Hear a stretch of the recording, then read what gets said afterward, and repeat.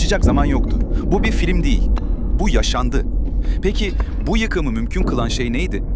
Bir maddenin içindeki devasa enerjiyi sadece birkaç gramlık uranyumla açığa çıkarmak mümkün.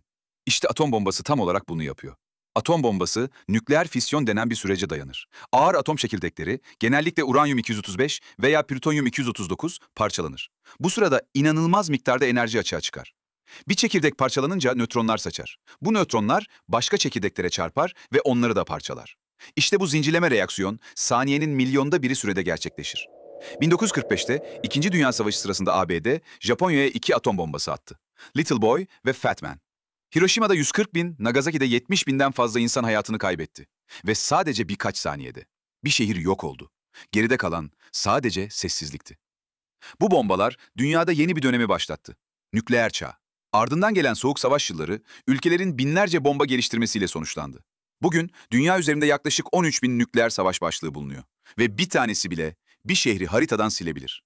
Bilim insanları bu gücü anlamamız için yıllar harcadı. Ama asıl soru şu. Bu gücü kontrol edebilecek kadar akıllı mıyız? Bilgi güçtür ama güç sorumluluk ister. Eğer bu videoyu beğendiyseniz bilim ve tarih dolu yeni içerikler için abone olmayı unutmayın. Teşekkürler.